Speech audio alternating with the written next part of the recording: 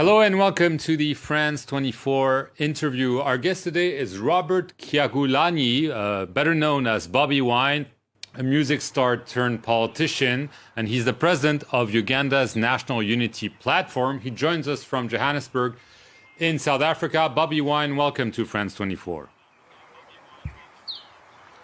Thank you very much for having me, Mark. Six months have passed since the presidential election. You still claim that you are the elected president and not Yoweri Museveni. However, the West has moved on, the African Union has moved on. Are you still considering yourself as the elected president, or have you yourself decided to move on? There's nothing to move on from in Uganda. Uganda is still under the tight, the tight grip of a military dictatorship under General Museveni.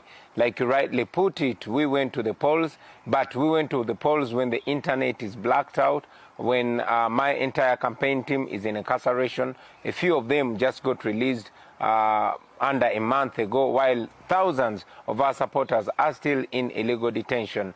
Um, the African Union, like you say, did not say a word. And yes, the international community, apart from a few statements, continue to be, you know, uh, silent about the atrocities that actually continue happening in Uganda. So you still consider yourself as the elected president of Uganda, or are you now saying, okay, let's look at the future, what we can do to change the situation in your country? I am definitely the elected president of Uganda, but as it is, uh, the, general, the junta that took over our country with force of arms in 1986 is still under control of our country unconstitutionally. Of course, we have to continue fighting to ensure that the, the will of the people of Uganda is asserted. Uh, Mr. Museveni, uh, whom I interviewed uh, last week, uh, said he was never uh, scared of your challenge, despite the fact that you seem to worry his regime. Do you think he was scared of you? I must say that General Museveni is scared not just of me, but of the generation, of the thousands and thousands of Ugandans that are yearning for change, and not only yearning for change uh, silently, but are up to demand for what's rightfully theirs. He is scared because he has kept people um, ignorant for a long time until when our generation woke up uh, all at once. We must remember that Uganda is a country that has over 80% of citizens that have never seen another president because General Museveni has been president for 35 years. So, yes, he is scared of our generation, and rightly so. He did say in the interview uh, with me last week that he was open to dialogue with you as with the entire opposition. What is your response to this open hand? Well, General Museveni is being the hypocrite that he has always been. We must remember that he is the same person that has been uh, woodwinking uh, people with dialogue. It should be remembered right from the 80s in Nairobi. But again, to show the world that he does not believe in dialogue, his approach to dialogue has been either coercion or co-optation, but not real dialogue. Uh, we cannot talk about dialogue when the people are still being abducted. We cannot talk about dialogue when we don't have any rights to express ourselves. We cannot talk about dialogue when we are not free. It's only free people that discuss, not when one is being under coercion and the other is asking for dialogue. But uh, you yourself are now free. You mentioned at the onset of the interview that uh, several of your supporters uh, were freed. Isn't this the sign that the regime might be willing to have a dialogue in the terms you just spelled out? Well, I said a few of our supporters are freed. But again, I must really assert it that this, the, the dialogue, uh, if dialogue is to be meaningful, it should be for and on behalf of the people of Uganda, no dialogue between two individuals. Ugandans went to the polls on the 14th of January and they asserted their voices, and their voices have been usurped. So it is not just a matter of me and General Museveni. It's a matter of the people of Uganda, which must be public and transparent, not a co-optational dialogue like General Museveni's approach has always been. The um, situation uh, back in November uh, turned pretty violent. Over 50 people uh, were killed. Uh, Mr. Museveni promised that there would be a, a, probe, that it would be made public, and he told me uh, that it should be made public, and that the culprits should be prosecuted. Do you believe him? Well, I must say it's not the first time that people are being massacred under the orders of General Museveni. He came out and bragged and pounded his chest about the murder, the mass murder of Ugandans. And it must be remembered that all that mass murder and abductions are being done under the command of his son, General uh, Kainerugaba, who is effectively in charge of the military. So it is rather hypocritical for General Museveni to order for the mass murder of the people, come out and publicly uh, assert it on public TV that it is under the command of his son and congratulates the military for the mass murder of those people, and then later on comes out to say that people will be uh, prosecuted. It has been over six months. The people that murdered Ugandans are known, and this is not the only uh, uh, situ the, the only time that it has happened. My driver was murdered by the elite forces who were under the command of General Museveni's son. The people that killed my driver are known. They were not prosecuted. A renowned boxer called Zebra Ssenyange was killed by Museveni's soldiers, and he came out and owned that. None of them has been uh, prosecuted. So he's lying so when he said there will be accountability? When he's, he's definitely lying, and, uh, you know, it would be funny if it's not sad to hear the same person say one thing uh, today and say another thing tomorrow. You mentioned uh, his son. Do you think that he's grooming him to be his successor, that he wants Uganda to become a dynasty? Well, it's almost clear.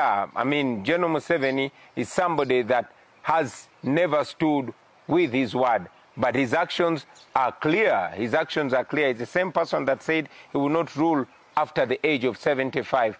At 75, he still has no hope or no sign of relinquishing power. He's the same person that said in 1986 that Africa's problem in general and Uganda in particular are leaders that overstay in power. 35 years later, he doesn't want to be reminded of what he said. So there's no reason to believe anything that he says. It's only reason to watch his actions and to discern for ourselves as Ugandans. Right. Uh, what he has done is to welcome Afghan refugees. Uh, this was at the behest of the U.S. administration. Uh, he says it's for purely humanitarian reasons. Is this your reading of this situation? Well, while it is our culture in Uganda to be humanitarian and to welcome refugees way back in our history, I must say this is clearly for political reasons why? Because we have Ugandans in their hundreds that are stuck in Afghanistan. There has not been any policy of repatriating them back home or even considering them. And not only that, Ugandans have been stuck in various countries during the start of the COVID 19 pandemic and they've not been thought about. So we have every reason to believe that General Museveni is trying to cleans his name and get in good books with the United States and the international community, of course, at the cost of Ugandans. He also uh, criticized on uh, national television the security forces for their use of violence, even uh, torture. Isn't this a good thing? But like I said, that General Museveni is only being hypocritical.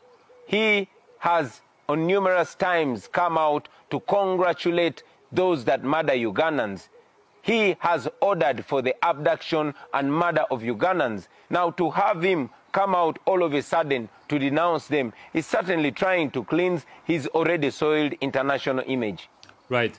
Uh, how do you see uh, him ending? I mean, do you see an end like, let's say, Robert Mugabe in Zimbabwe, Omar al Bashir in Sudan, that is, being ousted by a popular uprisings, or uh, because maybe he has a military background, do you see uh, him uh, hanging on for uh, many years? Well, it's clear. Recent history shows us how all dictators that have operated and behaved like General Museveni end up. We see it from the likes of Gaddafi, the likes of Omar el-Bashir, the likes of uh, Mugabe, etc., uh, etc. Et so there is no difference. It will certainly end the same way uh, General Museveni has shown us the same trajectory of all the dictators that uh, come in the name of revolutionaries but descend into despised despots who abuse rights with impunity, but ultimately they end up in the dustbin of history. So we can almost be sure that it's just a matter of time for General Museveni to end up in the dustbin of history like all the tyrants that have come before him.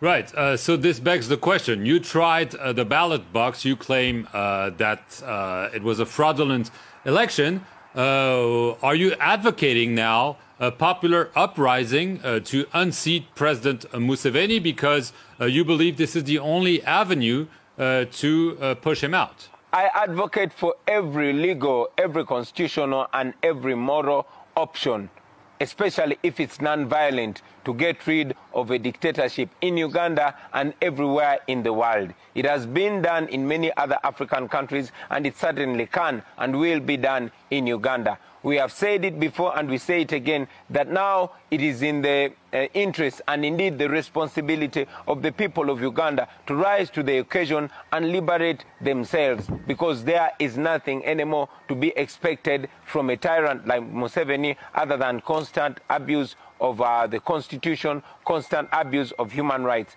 It should be remembered that just like uh, Alpha Conde, just like uh, many other dictators all over the world, General Museveni has changed the constitution multiple times in order to facilitate his continued stay in power. But like I said, it always ends up um, in unhappy endings. So, uh, as a conclusion, uh, you don't expect him to serve his full mandate?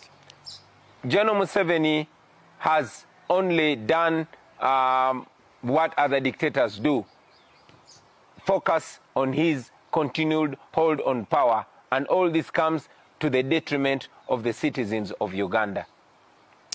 Bobi Wine, I want to thank you very much uh, for being our guest here on the France 24 interview. Thank you for watching it and stay tuned for more news.